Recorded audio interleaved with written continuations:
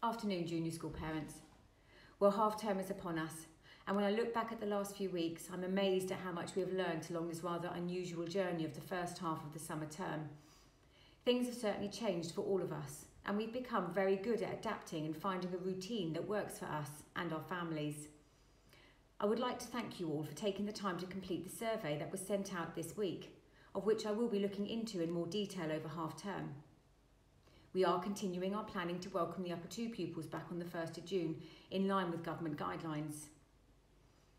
It has been another busy week in the junior school with Miss Wright introducing yoga to the PE curriculum and judging by the feedback and the pictures, the pupils really enjoyed having a go at a new sport. Lower 2B produced some fantastic maths work related to negative numbers.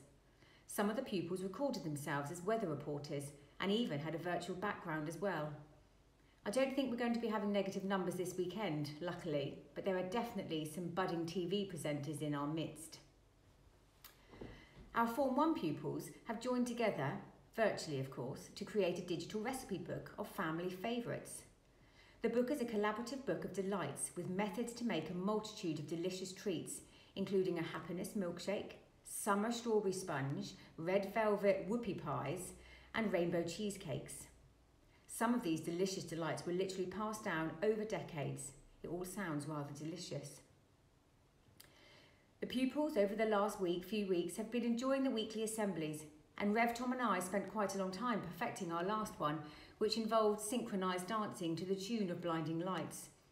And for two uncoordinated adults, I think we did a pretty good job.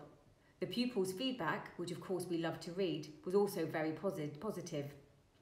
Rev Tom has something else up his sleeve for after half term, so let's hope it's easier than dancing.